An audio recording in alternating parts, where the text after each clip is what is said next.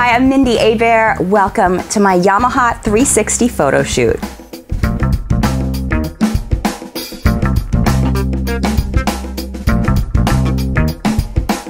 I grew up on the road. My dad is a sax player and keyboard player, and so for the first four years of my life, I was just out on the road with he and my mom and the band. I mean, every picture they have of me before the age of four is, you know, loading the band truck.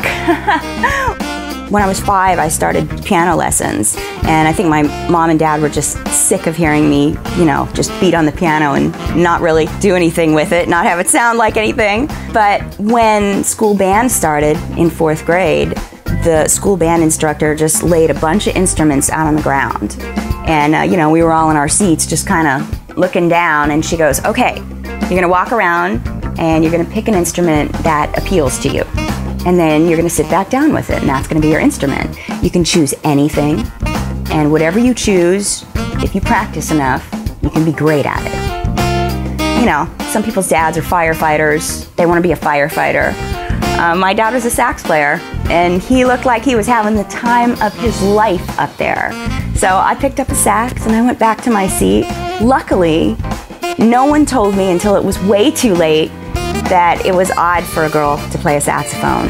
I totally believed what they told me and just, hey, if you practice, you can be great at this. And if you love it, then cool.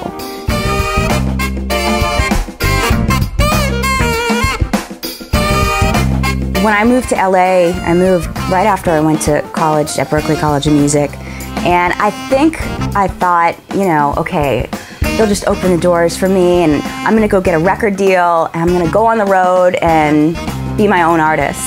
And I quickly realized that, you know, that's just not the way it happens in LA. So uh, I just started playing anywhere I could.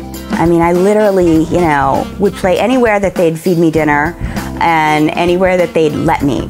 And I even went out on the street and played, you know, I'd put my case out there and just kind of be there and play. And, you know, people would put dollar bills in my case or whatever. And I paid the rent for quite a while.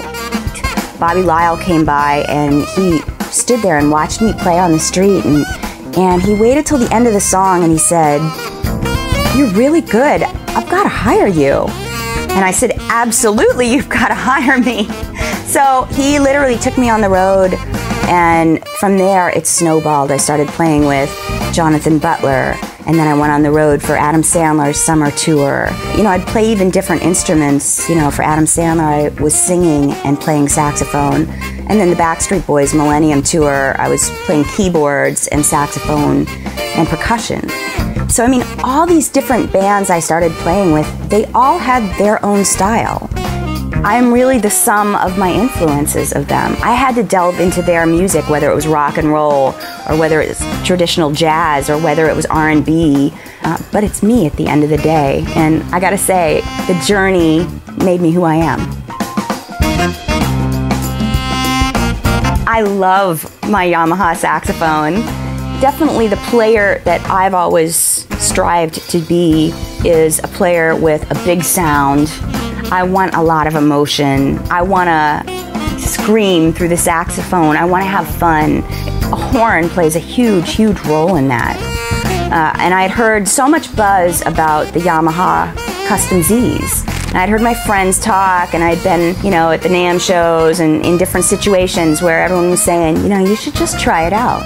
Uh, so I figured I'd see what all the hype was about. I was so blown away.